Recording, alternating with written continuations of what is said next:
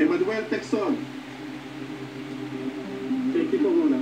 Mark Gigantes, Thank you, madam. Charlie Asuncion, at Christian Cordero. Congrats. Thank you, madam. Congratulations! Yung mga medalyo na hawak nyo, senyales yan na na-survive yung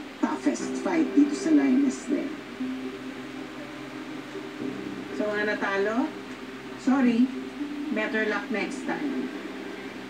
Sa mga nanalo, may 50,000 kayo.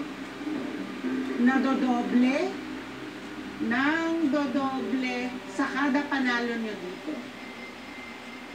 Yan ang patakaran. More grit, more power, more money. Naintindihan? Yes, yes. Yes, madam.